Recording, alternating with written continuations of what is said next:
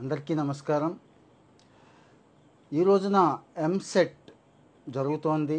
EAMCET counselling web options almost all చివరికి వచ్చేసాం ఈ రోజుతో పోల్చుకుంటే రేపటితో ఆఖరి రోజు అన్నట్టు. రేపటితో ఫైనల్ చేసేసుకోవాలి. మనం ఏ కోర్స్ సెలెక్ట్ చేసుకుంటాం ఏ కాలేజ్ అనేది రేపటితో ఫిక్స్ అయిపోతుంది ఫైనల్ చేసుకోవాలి. సో ఇక్కడ ఎంసెట్కి అటెండ్ అవుతున్న పిల్లలకి తల్లిదండ్రులకి చాలా చాలా డౌట్స్ ఉన్నాయి. ఎంత ఎంసెట్ ఎంత తెలివిగా ఆలోచించినా ఎంతమందిని ఎక్స్పర్ట్స్ని కాంటాక్ట్ చేసినా ఎన్ని వెబ్సైట్స్ చూసినా ఎన్ని యూట్యూబ్ ఛానల్స్ చూసినా ఇంకా డౌట్స్ అయితే అలాగే ఉండిపోతాయి. కొన్నిసార్లు కొన్ని పొరపాట్లు కూడా చేస్తూ ఉంటామండి. మనకు తెలియకుండానే పొరపాట్లు జరుగుతూ ఉంటాయి. తెలిసి కూడా పప్పులో కాలేసే వాళ్ళం చాలామంది ఉంటాం. సో మంచి కాలేజీకి ప్రిఫరెన్స్ ఇవ్వాలా? మంచి కోర్సుకి ప్రిఫరెన్స్ ఇవ్వాలా? ఇది చాలా చాలా సందేహం ఉంది చాలామందికి నా సలహా అయితే చెప్తాను జాగ్రత్తగా ఉండండి. ఇటు మంచి కాలేజీకి ఇవ్వాలి మంచి కోర్స్కి ఇవ్వాలి. ఎట్ ఏ టైంలో రెండిటికి ప్రిఫరెన్స్ ఇవ్వడం ఎలా సాధ్యం అండి రెండిటి ప్రిఫరెన్స్ ఇస్తే పని అవుతుందా అని మీకు డౌట్ రావచ్చు. ఉంటుందండి. ఖచ్చితంగా పని అవుతుంది వెయిటేజ్ కూడా ఇక్కడ మనం ఇచ్చుకోవాల్సి ఉంటుంది. అంటే కాలేజీకి ఇంత వెయిటేజ్ అని ఇచ్చుకుంటే కోర్సుకి ఇంత వెయిటేజ్ అని ఇచ్చుకోవాలి. అంటే ఎక్కడ రాజీ పడకూడదు. మంచి కాలేజీ విషయంలోనూ రాజీ పడకూడదు మంచి కోర్స్ తీసుకునే విషయంలో కూడా రాజీ పడకూడదు అంటాను నేను. ఎలా అంటారా? ఇప్పుడేముంది ట్రెండ్? ఓపెన్గా చెప్పుకోవాలంటే కంప్యూటర్ సైన్స్ ఇంకా మెషిన్ లెర్నింగ్ డేటా సైన్స్ ఇక ఏఐడిఎస్ దగ్గర నుంచి చాలా చాలా కోర్సులు ఉన్నాయి కదండి. రకరకాల పేర్లు అయితే పెట్టేశారు కొన్ని చోట్లయితే. కొన్ని కాలేజీల్లో అయితే కంప్యూటర్ సైన్స్కి రకరకాలైన తోకలు తగిలించేసి పది బ్రాంచులు కూడా నడుస్తున్నాయండి. చాలా ఉన్నాయి. మీకు తెలుసు కావాలంటే చెక్ చేసుకోండి. సో ఇక్కడ ఎంతసేపు కంప్యూటర్ సైన్సే చదవాలి? అది కాకపోతే ఇది ఇది కాకపోతే అది. కంప్యూటర్ సైన్స్ రిలేటెడ్ అయినా ఆలోచిస్తున్నారు కానీ మరి అందరం ఒకటే చదివితే అందరూ కూడా కంప్యూటర్ సైన్స్లోనే ఉంటే ఇప్పుడే రిసెషన్ ఉంది కదా. ఈ నాలుగు సంవత్సరాల తర్వాత వచ్చే వాళ్ళల్లో seventy two eighty percent already computer సీట్సే అంటున్నారు కంప్యూటర్ సైన్స్. వీళ్ళే ఉంటే ఉద్యోగాలు వచ్చే పరిస్థితి ఉంటుందా? ఆల్రెడీ పాపం ఇంజనీరింగ్లు అయిపోయి మంచి బ్రాంచుల్లోనే ఎక్కడా ఉద్యోగం రాక కుదురుకోలేక బాధపడుతున్న వాళ్ళు ఎంతమంది ఉన్నారో ఒకసారి చెక్ చేసుకోండి. సో ఆ పరిస్థితి రాకూడదు అంటే కంప్యూటర్ సైన్స్ తీసుకోవద్దా అంటారేమో. నేను అలా అంటలేదండి. తీసుకోమనే చెప్తున్నా. కానీ ఎవరికి? అంటే కోడింగ్ మీద మంచి ఇంట్రెస్ట్ ఉంది. రోజు కొత్త విషయాలు నేర్చుకోవాలనుకుంటున్నాం. టెక్నాలజీ ట్రెండ్స్ అప్డేట్ అవుతూ ఉంటాం. అనుకున్న వాళ్ళకి కంప్యూటర్ సైన్స్ బాగుంటుంది. ఒకటికి రెండు సార్లు వెరిఫై చేసుకోవాలి. మంచి ప్రొఫెసర్లతో మాట్లాడాలి. వీలైతే కాలేజీకి వెళ్ళాలి. అక్కడ పరిశీలించాలి. ల్యాబ్స్ అన్నీ కూడా పరిశీలించి కాలేజీ వాతావరణం పరిశీలించిన తర్వాతే ఈ నిర్ణయం తీసుకోండి. పిల్లనో పిల్లాడినో వెంట పెట్టుకొని వెళ్ళి అక్కడ ఒకసారి అన్ని వివరాలు కనుక్కొని అంటే ఓపిక్గా తప్పదు. ఎందుకంటారా? నాలుగు సంవత్సరాలు పిల్లాడి భవిష్యత్తు. ఆ కాలేజీకి అప్పచెప్తున్నాం. తర్వాత వాడి జీవితం అంతా కూడా ఇదే ఉంటుందండి. లేకపోతే ఏమవుతుందో తెలుసా?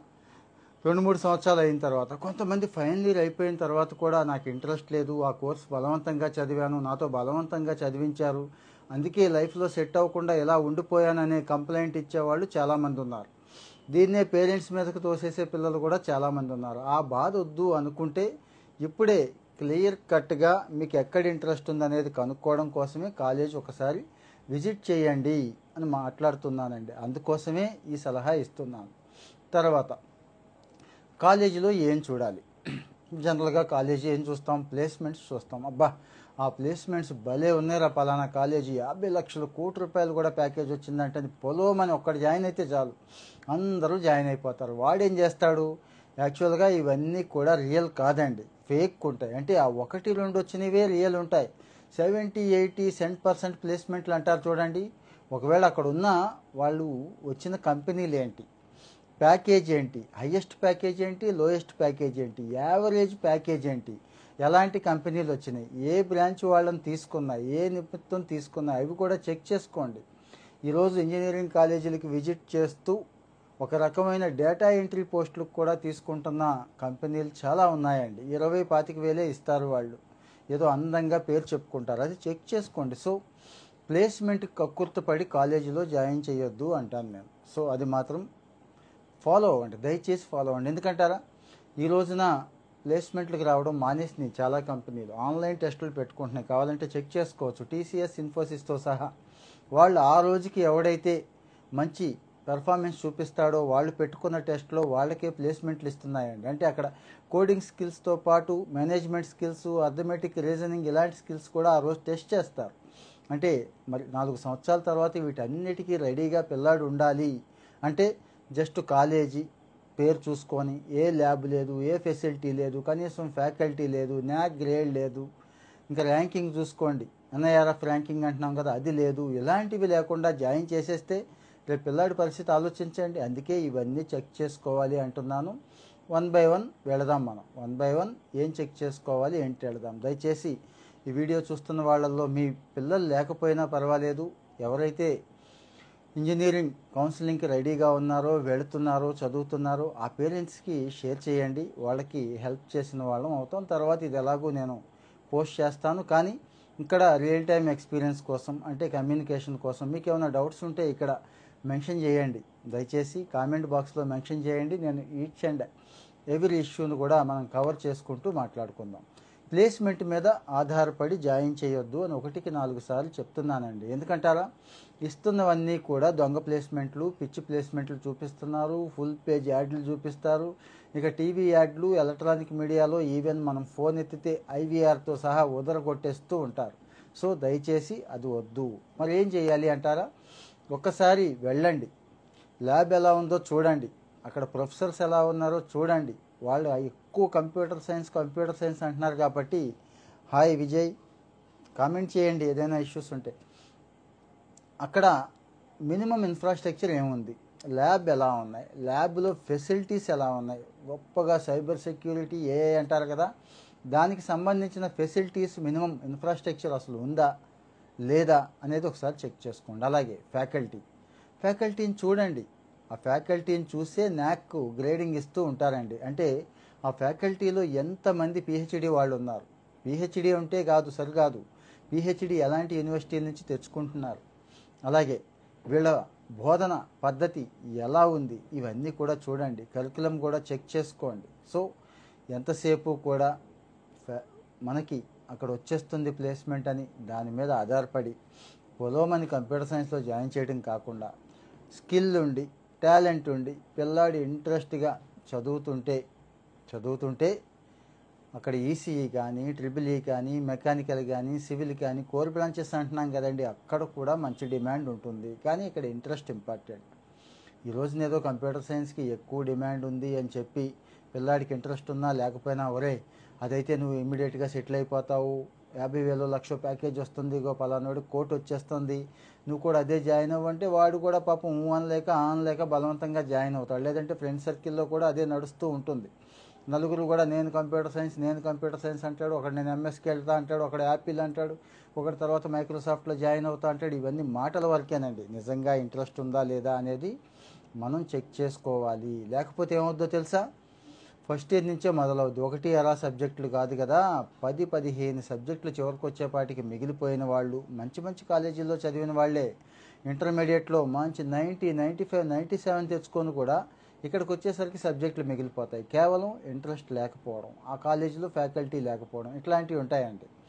సో డిమాండ్ ఉంది కదా అని చెప్పి పిచ్చి కాలేజీలో. ఎందుకు పనికిరాని కాలేజీలో కంప్యూటర్ సైన్స్ జాయిన్ అవటం కంటే ఈసీఈ బెస్టా సిఎస్సి బెస్టా అంటున్నారు చిరు.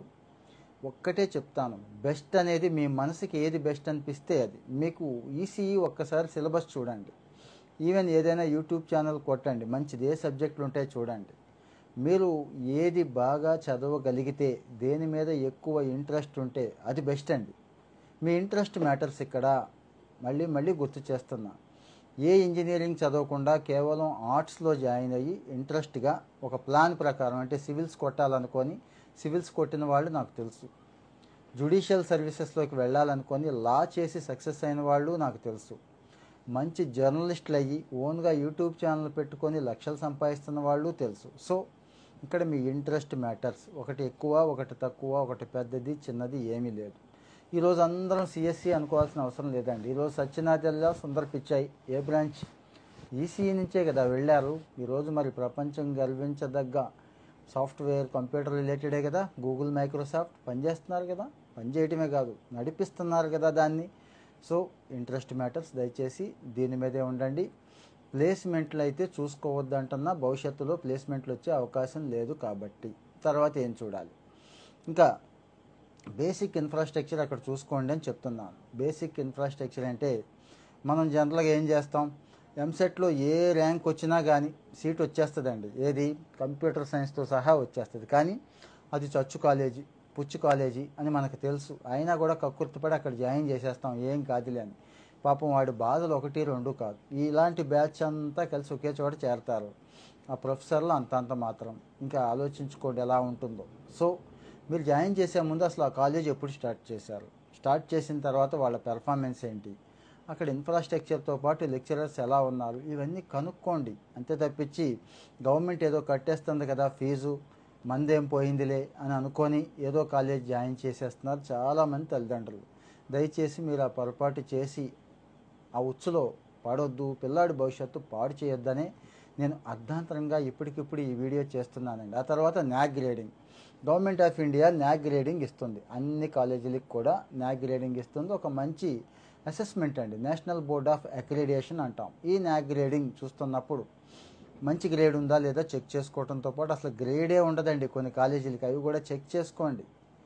చెక్ చేసుకోండి. దయచేసి. అక్రిడియేషన్ ఉందో లేదో చూసుకోండి. అలాగే ఈ కాలేజీకి ఏవైనా ఇండస్ట్రీస్తో టైఅప్ ఉందా? అంటే ఇండస్ట్రీ ఓరియంటెడ్ స్కిల్స్ నేర్పుతున్నారా? ఇండస్ట్రీకి రెడీ చేస్తున్నారా? ప్రధానమైన సమస్య అదే ఈ రోజున. ఇంత నేర్పించేసామంటారు వీళ్ళ కాలేజ్ నుంచి బయటికి వెళ్ళా వాళ్ళని తీసుకోవడానికి సిద్ధపట్టలేదు. సో అది కూడా చెక్ చేసుకోండి. సో డైరెక్ట్గా వెళితేనే ఇవన్నీ తెలుస్తాయి మీకు. పొలవమని ఎవడో చెప్పాడని కంప్యూటర్ సైన్స్ అనో దాని రిలేటెడ్ ఏఐడిఎస్ అనో కాకుండా ఒక్కో కాలేజీకి ఒక్కో ప్ర ప్రత్యేకత ఉంటుందండి. కొన్ని కాలేజీలు చూశాను నేను. సివిల్ సూపర్ కొన్ని మెకానికల్ కొన్ని ఎలక్ట్రికల్ కొన్ని ఈసీఈ సో ఇలాంటి చోట కూడా జాయిన్ చేయొచ్చు. పిల్లాడికి ఇంట్రెస్ట్ ఉంటే దయచేసి అక్కడ జాయిన్ అయ్యండి. అంతే తప్పించి ఏదో పేరు ఉందిలే ప్లేస్మెంట్ వచ్చిందిలే వద్దండి. ఇంకా ఫైనల్గా అన్ని బ్రాంచుల గురించి ఒకసారి అవగాహన కల్పించుకోండి. ఎంతసేపు ఆల్రెడీ వాడి బ్రెయిన్లో ఫీడ్ చేసేసారండి. అది మంచిది అది మంచిది అది మంచిది అని కాదు. మిగిలినవి కూడా మంచిదే. ఏ రకంగా మంచిది? ఎలా మంచిది? ఫర్ ఎగ్జాంపుల్ ఈసీ ఉంది. రాబోయే కాలం అంతా ఎలక్ట్రిక్ వెహికల్స్ ఉంటాయి. మెకానికల్ ఉంది. మెకానికల్లో రోబోటిక్స్ ఇవన్నీ కూడా ఒక పార్ట్. సో ఇవేవి తక్కువ కాదు. ఇక సివిల్ ఇంజనీరింగ్ ఎవర్ గ్రీన్? ఈ రోజు కూడా అమెరికా వెళ్ళిన వాడికి సిఎస్సి వాడికి కంప్యూటర్ సైన్స్ రిలేటెడ్ వాడు ఐటీ వాడికి ఉద్యోగాలు లేవు. కానీ సివిల్ వాడికి ఆఫర్స్ అద్భుతంగా ఉన్నాయి. కావాలంటే చెక్ చేసుకోండి. సో ప్రపంచం ఎదుగుతుంది. భారతదేశం లాంటి దేశాలు ఇంకా ఇంకా ఎదుగుతాయి. ఇన్ఫ్రాస్ట్రక్చర్ పెట్టుబడులు ఉంటాయి. ఫర్ ఎగ్జాంపుల్ అమరావతి లాంటి చోటే ఒక యాభై వేల కోట్లు ఖర్చు పెడతారు. ఒక రాజధాని కోసం అంటున్నారు. ఇంకా మిగిలిందుకు పోల్చుకుంటే ఎంత ఖర్చు పెడతారు? అంటే సివిల్ ఇంజనీరింగ్ రోడ్లు భవనాలు ఎంత ఉంటుంది? ఎంత డిమాండ్ ఉంటుంది? ఫర్ ఎగ్జాంపుల్ చెప్తున్నా. సో ఇంట్రెస్ట్ ఉంటే కనుక నేను సివిల్ చదివేసి మళ్ళీ కంప్యూటర్స్కి వచ్చేస్తా అని చెప్తున్నాడు. మొన్న టాప్ ఎన్ఐటీలో చదువుతున్న కుర్రాడు. సెకండ్ ఇయర్లో ఫైనల్ ఇయర్లో చదువుతున్నాడండి. గుర్తులేదు. ఇలా ఉంది వాళ్ళ మనసులో. అవసరం లేదు మీరు ఏదైతే చదువుతున్నారో దాన్ని ఇష్టపడండి దాని మీద ఫోకస్ పెట్టండి. మంచి ఉద్యోగ అవకాశాలు ఎప్పుడు ఉంటాయి. మంచి కంపెనీలు ఉన్నాయి. ఎల్ఎన్టీ షాపూర్జీ పల్లంజీ లాంటివి సివిల్. ఇక మెకానికల్ వగేరా చెప్పక్కర్లేదు. సో అలాగని కంప్యూటర్ సైన్స్ వాళ్ళని భయపెట్టడం నా ఉద్దేశం కాదు. మీరు కంప్యూటర్ సైన్స్ చెయ్యాలి అనుకుంటే నా సలహా. ఒక ఫుల్ స్టాక్ డెవలపర్గా బయటికి రావాలి అనుకోనే చేయండి అంతే తప్పించి ఓన్లీ అకాడమిక్ ఓరియంటేషన్లో వాళ్ళు ఏదో చెప్తారు బట్టి పట్టేసి ముక్కును పట్టేసి ఆ రోజుకి ఎగ్జామ్లో వదిలేస్తే ఆ సర్టిఫికేట్ తెచ్చుకుంటే ఉద్యోగం వచ్చేస్తుంది క్యాంపస్లో వాడు చే ఇచ్చేస్తాడు ఏదోటి చూసేస్తాడు అనుకుంటే మాత్రం మీ అంత పిచ్చోళ్ళు లేరు అంటాను నేను. సో అలాంటివి ఎప్పుడూ పెట్టుకోవద్దు. సో మనకి ఏదైనా జబ్బు చేసింది మనకి ఏదైనా అనారోగ్యం వచ్చింది అప్పుడు ఏం చేస్తాం? మంచి డాక్టర్ ఎక్కడున్నాడు అనేది కనుక్కుంటామండి. అలాగే ఇది కూడా మనకి ఏ జబ్బు కాదు. ఇప్పుడు మన భవిష్యత్తుకే జబ్బు చేస్తుంది. మన భవిష్యత్తు పాడైపోతుంది. సో ఈ విషయాలన్నీ గుర్తుంచుకొని నేను చెప్పిన ప్రతి వ్యాలిడ్ పాయింట్ని గుర్తుంచుకొని ఎవరు చెప్తే అది నమ్మకుండా దయచేసి కాలేజీకి ఒక్కసారి విజిట్ చేయండి. అక్కడ ఇద్దరు ముగ్గురు ఫ్యాకల్టీతో ఒక్కసారి మాట్లాడండి. నేనైతే అదే చేస్తాను అదే చేశాను కూడా. నా అనుభవంతోనే చెప్తున్నాను. ఈరోజు ఆప్షన్స్ ఇస్తే నాకు అర్థమైంది. ఓహో ఆప్షన్స్లో కూడా మతలబు ఉంది మాయాజాలం ఉంది చాలా ఉన్నాయండి. రకరకాల కోర్సులు చూపిస్తున్నారు. బీబీఏ అంటున్నారు. ఎస్ బీబీఏ ఇష్టమైతే బీబీఏ చేయండి.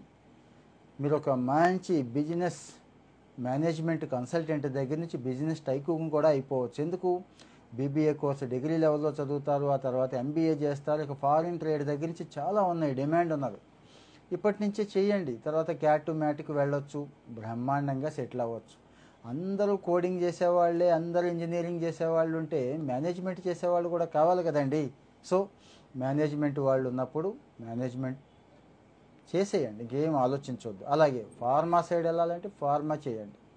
ఇంటర్మీడియట్ ఎంపీసీ అయిపోయింది కదని చెప్పి అందరూ ఎంసెట్కే వెళ్ళాల్సిన అవసరం అంటే ఐ మీన్ ఇంజనీరింగ్కే వెళ్ళాల్సిన పని లేదండి. మిగిలిన చోట ఇంట్రెస్ట్ కొంతమందికి ఉంటుంది. వాటికి కూడా వెళ్ళండి అవి కూడా చేయండి ఏమి కాదు. గుర్తుంచుకోండి దయచేసి. మళ్ళీ మళ్ళీ గుర్తు చేస్తున్నా ఈ ప్రపంచంలో ఏది వేస్ట్ అనేది లేదు. కాస్త డిమాండ్ మ్యాటర్స్ అంతే. ఒక్కొక్క దానికి ఒక్కొక్క టైంలో డిమాండ్ వస్తుంది. అలాగని మిగిలింది ఎప్పుడూ జీరో అవ్వదు. తగ్గుద్ది పెరుగుద్ది అంతేనండి. Demand supply. ఈరోజు కంప్యూటర్ సైన్స్ ఫీల్డ్లో ఎక్కువ ఉద్యోగాలు వస్తున్నాయి కాబట్టి ఎక్కువ మంది అక్కడికి పడిగెడుతున్నారు. రేపు ఇంకో ఏఐ వగైరా ఇవన్నీ వచ్చేసి డెవలపర్లు కోడర్లకు డిమాండ్ తగ్గిపోయి తీసుకోని పక్షంలో అప్పుడు ఆలోచించండి ఎవరికి డిమాండ్ వస్తుందో.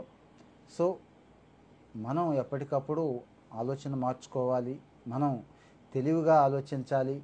తెలివిగా ఆలోచిస్తూ అన్నిటికంటే ముఖ్యంగా మళ్ళీ మళ్ళీ మళ్ళీ గుర్తు చేస్తున్నా ఎక్కడ ఇంట్రెస్ట్ ఉంటే అక్కడే ఫోకస్ పెట్టండి. దాని మీదే దాని మీదే ఫోకస్ పెట్టి ఇష్టపడి చదవండి అంటున్నాను.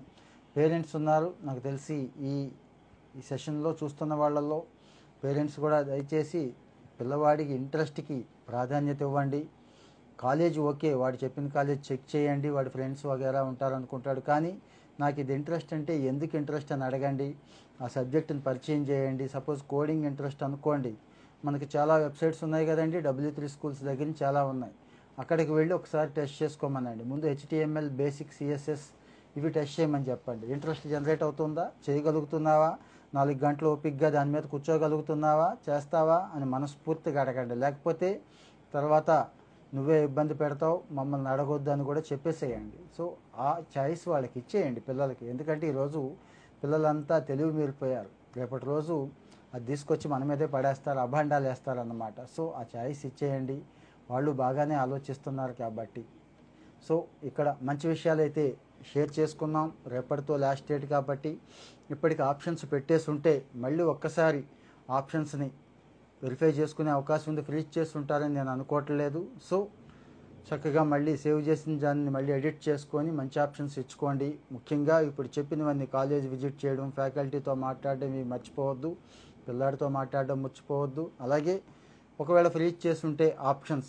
మళ్ళీ సెకండ్ థర్డ్ కౌన్సిలింగ్ ఉంది కదా ఆ టైంలోనైనా ఈ మీ సూచనలన్నీ మీకు వాల్యుబుల్ అనిపిస్తే ఖచ్చితంగా ఫాలో అవ్వండి. పిల్లవాడి భవిష్యత్తుతో మాత్రం ఆడుకోవద్దు. మూర్ఖంగా నిర్ణయాలు అయితే తీసుకోవద్దు. ఏ బలహీనతకి లోను కావద్దు. ఈ వీడియో మీకు నచ్చినట్లయితే మీరు మాత్రమే వినేసి వదిలేకుండా మన వాళ్ళకు కూడా షేర్ చేయండి. Thank you. బాయ్.